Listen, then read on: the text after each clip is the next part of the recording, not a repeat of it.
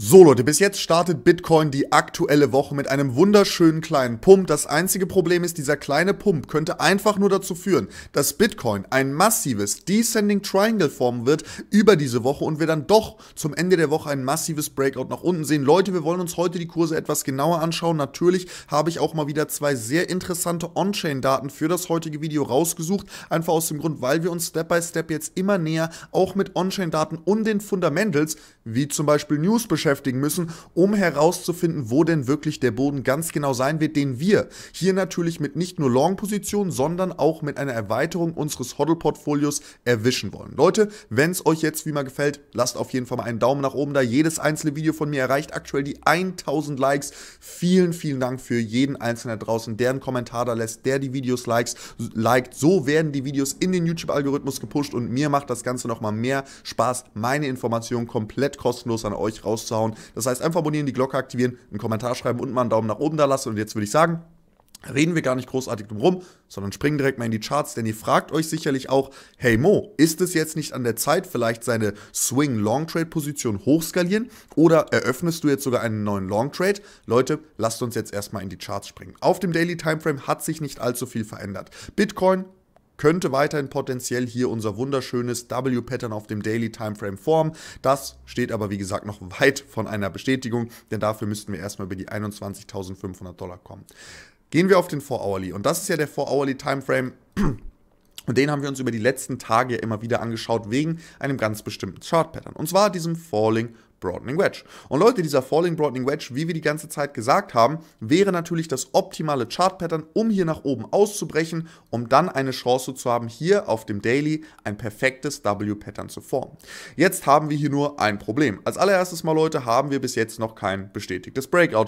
Denn, wie ihr wisst, ein bestätigtes Breakout, wie ich euch auch in meinem letzten Video erklärt habe, passiert erst, wenn der ehemalige Hochpunkt vorm Retest erfolgreich nach oben hin durchbrochen worden ist. Und da das aktuell noch nicht der Fall ist, habe ich weder meine Long-Position hochskaliert, noch habe ich tatsächlich einen neuen Long-Trade eröffnet oder ich habe das auch aktuell noch nicht vor. Selbst wenn wir jetzt bestätigt hier über diesen Hochpunkt brechen. Warum? Es hat sich einiges geändert, nachdem ich auf die One-Hourly Timeframes geschaut habe. Und zwar sehen wir hier eine sehr, sehr interessante Sache. Und zwar sehen wir hier, dass Bitcoin sich tatsächlich noch in seinem Falling Broadening Wedge befindet. Und das kann immer wieder passieren, denn der die 4-Hourly Candles schließen natürlich bei ganz, ganz anderen Preisen als die 1-Stunden-Kerzen zwischendurch. Und somit können sich unterschiedliche Chart-Pattern auf demselben zeitlichen Ablauf auf verschiedenen Timeframes bilden. Und was wir jetzt hier ganz, ganz schön sehen können, ist, dass Bitcoin nicht rein zufällig bis jetzt noch nicht die Bestätigung reinbekommen hat, die man da eigentlich jetzt erwartet hätte bei diesem Breakout,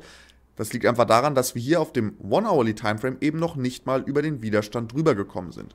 Natürlich haben wir aktuell leicht höhere Wahrscheinlichkeiten, dass der Kurs hier das schaffen wird, den abwärts, abwärts fallenden Widerstand nach oben hin zu durchbrechen. Einfach aus dem Grund, weil wir auf dem 4-Hourly Timeframe ja auch bereits aus demselben Chart-Pattern nach oben ausgebrochen sind. Höherer Timeframe, selbes Chart-Pattern, wir brechen nach oben aus. Likelihood, dass auf dem kleinen Timeframe das Chart-Pattern auch ausbricht, natürlich erhöht. Und mit einem Breakout würden wir dann hier auch das Breakout auf dem 4-Hourly Timeframe bestätigen, hätten noch ein Breakout auf dem 1-Hourly und dann kann man tatsächlich ein bisschen seine Long-Position fürs erste, fürs erste hochskalieren. Das ist aber wie gesagt noch nicht passiert. Und aus dem Grund muss man sagen, wenn wir jetzt hier auf dem One-Hourly äh, mit den nächsten 48 Minuten eine Rejection reinbekommen und jetzt hier dumpen, naja Leute, dann haben wir hier ein M-Pattern, ein weiteres bearishes Chart Pattern, was dann definitiv eher mal für Kurse von 18.000, niedrigen 18.000 Dollar sprechen würde. Aber davon abgesehen muss man natürlich ganz klar sagen, dass wir dann das Potenzial hätten, auf dem Daily Timeframe ein massives, und das ist das, was ich euch zum Anfang des Videos gezeigt habe, bevor wir jetzt auf die Chartanalyse und die News zu kommen, könnte es natürlich auch sein, dass selbst mit einem positiven Breakout jetzt hier an der Stelle nach oben dass wir dann tatsächlich trotzdem beim 20.500 Dollar eine Rejection reinbekommen. Das heißt, es gibt immer noch aktuell ähm, einige Sachen, die nach oben hin durchbrochen werden müssen, bevor ich bullish werde. Aus dem Grund, ja Leute, ich habe in meinem gestrigen Video gesagt, ich werde Long-Position hochskalieren, ich werde neue Long-Positionen eröffnen. Diese Pläne haben sich jetzt erstmal auf Eis gelegt, einfach aus dem Grund, weil Bitcoin eben zu lange gebraucht hat, um nach oben auszubrechen und jetzt sich eben charttechnisch doch nochmal etwas verändert hat, vor allen Dingen, wenn die nächsten Stunden jetzt hier bearish ausfallen sollten. Das heißt, Leute, lasst uns einfach den Bitcoin-Preis im Auge behalten. Ab jetzt, Leute, dieses Descending Triangle, dieses potenzielle und damit dann natürlich auch mehr oder weniger dieses W-Pattern. Das ist jetzt erstmal auf dem Daily Timeframe das, was ich im Auge behalte, um neue Positionen potenziell zu öffnen. Und sollte ich ähm, auf die Idee kommen, eine Short-Skull-Position zu öffnen, werde ich euch natürlich auch darüber in meinen Videos informieren. Ansonsten, Leute, müssen wir uns jetzt aber hier noch diese On-Chain-Data anschauen. Denn was zeigt uns das, Leute? Das zeigt uns tatsächlich, was mit Bitcoin-Wahlen, die über ein Bitcoin, äh, über 1000 Bitcoin tatsächlich bewegen, was machen die aktuell?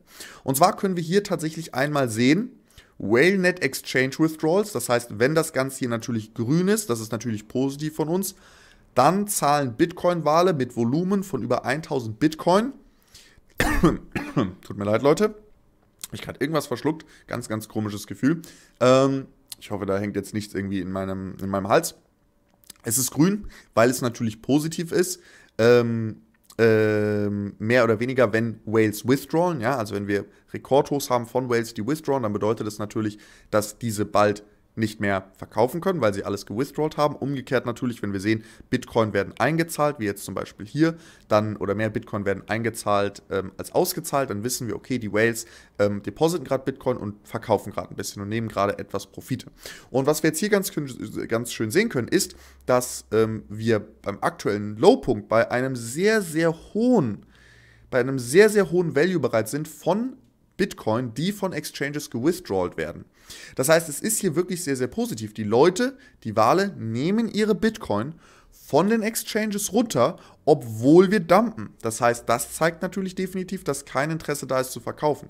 Eine On-Chain-Data, die definitiv hier an der Stelle bullish ist. Wir dürfen nicht vergessen, Leute, diese ganzen On-Chain-Daten, die, die zeigen uns mehr oder weniger, dass der Boden in den nächsten drei, vier Wochen, wie ich in meinem gestrigen Video gesagt habe, dass der Boden in den nächsten drei, vier Wochen drin sein müsste.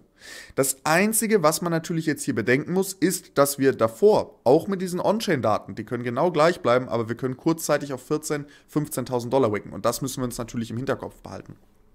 Ansonsten, Leute, die zweite On-Chain-Data und natürlich wie immer, lasst auf jeden Fall jetzt nochmal einen Daumen nach oben da, Leute, falls wir die 1000 Daumen nach oben noch nicht erreicht haben. Let's go. 1000 Daumen nach oben, lasst gerne auch mal einen Kommentar da, das supportet mich, abonnieren, die Glocke aktivieren, das pusht das Video ein bisschen in den YouTube-Algorithmus, dass auch so viele Leute wie möglich das sehen, denn wir wollen nämlich auch noch über die Bitcoin on Exchanges reden. Und zwar, Leute, sehen wir natürlich, was zeigt uns das an? Das zeigt uns den Gesamtbetrag von Bitcoin auf Exchanges. Und bis jetzt, wenn das gefallen ist, haben immer viele Leute das als Argument genommen, okay, Bitcoin werden von Exchanges gewithdrawt. Das bedeutet natürlich, dass bald der Supply weg sein wird von Leuten, die auf Exchanges verkaufen und dann muss der Preis bald wieder massiv pumpen.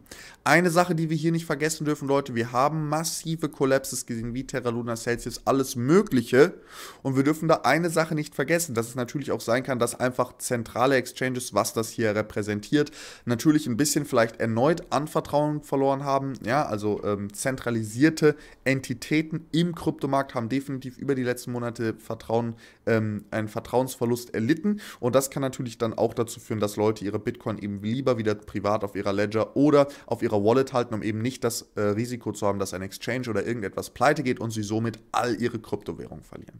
Naja, Leute, wenn es euch viel mehr gefallen hat, lasst auf jeden Fall einen Daumen nach oben da. Behaltet jetzt hier auf jeden Fall den Daily Timeframe und auch den Hourly Timeframe im Auge, denn hier aktuell während des Videos die Wahrscheinlichkeit natürlich dadurch, dass wir auf dem 4-Hourly Timeframe schon nach oben ausgebrochen sind, hier jetzt auch wieder höher, dass wir nach oben ausbrechen. Aktuell passiert es sogar. Trotzdem, auch für den 1-Hourly Timeframe gilt natürlich jetzt, wir wollen ein bestätigtes Breakout sehen. Wir wollen erst nochmal retesten. Wir wollen den Hochpunkt erst nochmal nach oben hin durchbrechen, bevor wir hier irgendeine Entscheidung zur Vergrößerung unseres Swing Long Trades treffen. Leute, ich würde aber sagen, schauen wir uns jetzt hier noch das allerletzte fürs Video an und dann sehen wir uns auch schon direkt morgen wieder. Und zwar US Millennials own more crypto than mutual funds. Und ich glaube, das ist eine Sache, ist es zwar keine On-Chain-Data, es hat aber was mit den Fundamentals zu tun, die sich für Bitcoin verändern werden. Und zwar, according to the research conducted by the investment firm Alto, uh, 40% of the American millennials, those aged 26 to 41 hold cryptocurrencies. Nearly the same share of people own individual stocks, the survey estimated. Und eine Sache, die ich hier sehr, sehr interessant finde, das bedeutet ja einfach nur, dass ähm, tatsächlich 40% der amerikanischen Millennials, das heißt Leute im Alter von 26 bis 41, bereits Kryptowährungen halten. Und eine weitere Sache, die ich sehr, sehr interessant finde, die hier drin stand, war, ähm, lasst mich das ganz kurz hier. Äh, Another recent poll estimated that 36% of millennials and 51% of Generation Z, das heißt die jüngeren Leute, Generation Z, zu der ich theoretisch gehören würde, ähm, auch wenn ich diese ganzen Generationsnamen total random finde, weil es eh alles überhaupt gar keinen Unterschied macht, wann du geboren bist. Ähm, 36, also natürlich schon, man wächst ja mit Technologie auf und so, aber grundsätzlich gesehen, ich meine, es ist jetzt nicht allzu crazy, wenn man Generation Z oder Millennials ist. Ich glaube, das macht alles nicht allzu viel Unterschied. 36% bis 51% bei Generation Z would prefer to receive half of their paychecks in digital currency instead of fiat. Ähm, das heißt, wir sehen natürlich ganz klar, dass bei den jüngeren Leuten ein massiver Shift in Crypto-Space ist. Das war uns allen auch schon klar. Aber wir dürfen eben einfach eine Sache nicht vergessen. Geben wir dem Ganzen 10 Jahre Zeit. Reden wir hier wirklich von einem Long-Term Time Horizon, wie wir uns ja im Kryptomarkt befinden, mit unseren Hodl-Portfolios. Leute, in zehn Jahren, ich meine, Step by Step werden irgendwann nur noch diese ganzen Millennials, die ganzen Generation Z, das wird die Arbeitsgesellschaft sein, dass wir die Leute bekommen, die ähm, 70, 80 Prozent der Löhne erhalten, ja, die in, in, auf der Welt gezahlt werden. Und wenn die alle jetzt bereits Interesse haben, das zur Hälfte in Krypto zu bekommen, wenn die alle 50 Prozent von diesen ganzen Leuten bereits in Krypto sind, dann wird sich das nicht ändern. Diese Leute werden in Krypto bleiben, bloß diese ganzen Jugendlichen, diese ganzen jungen Menschen, die werden eben immer mehr Geld haben, die werden immer reicher werden und die werden immer mehr Geld verdienen über ihr Leben und dementsprechend wird auch immer mehr Geld von ihnen in Kryptowährung fließen. Ähm, diese ganze Generation Z und aber auch ähm, Millennials haben ja aktuell nicht ähm, das Geld der Welt. Ja, das gehört ja immer noch der einer Generation darüber, ähm, wenn man jetzt mal wirklich im ganz großen Stil schaut. Und das wird sich aber eben auch über die nächsten 10, 15, 20 Jahre ändern. Und deshalb fand ich das auch sehr, sehr interessant, sich damit zu beschäftigen, wie viel Prozent der Jugend denn bereits Krypto adoptiert hat. Denn das ist natürlich im Endeffekt das, was sich dann auch in Zukunft zeigen wird, wenn dann eben äh, die ganzen Jugendlichen und jungen Erwachsenen erwachsen sind und ja, der Backbone der heutigen Weltwirtschaft sind. Aber Leute, ich würde tatsächlich sagen, wenn es euch mal gefallen hat, lasst auf jeden Fall einen Daumen nach oben da, lasst uns die 1000 Daumen nach oben knacken und dann würde ich sagen, sehen wir uns tatsächlich im nächsten Video wieder. Lasst einen Kommentar da. Ich hoffe, euch haben die On-Chain-Daten gefallen und natürlich auch meine Chartanalyse. Dann würde ich sagen, sehen wir uns. Bis dann. Haut rein. Ciao. Ciao.